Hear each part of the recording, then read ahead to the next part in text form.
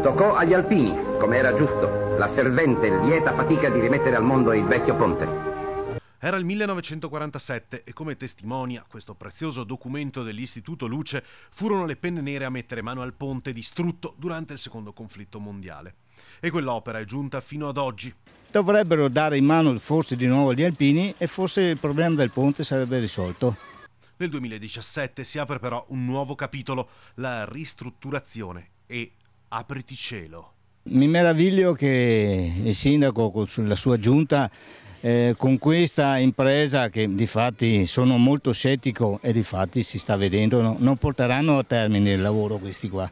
Il signor Roberto Verin ogni anno nuota sotto il famoso ponte per recuperare bicchieri soprattutto e immondizia, ma questa volta a destare la sua attenzione è stata la tenuta del manufatto. È rimasto sbalordito, le condizioni sono pessime è sempre peggiorato, sta sempre cedendo di più. Lei quindi ritiene sia anche un po' pericoloso il ponte in questo momento? Beh, pericoloso no, perché l'hanno ancorato qua e là. Certamente ha fatto un cedimento qua negli ultimi due anni, una cosa proprio incredibile. Non pensavo che cedesse in quella maniera là. I pali portanti, quelli principali, sono ancora buoni, però tutto il resto de delle strutture sotto è tutto consumato eh, completamente.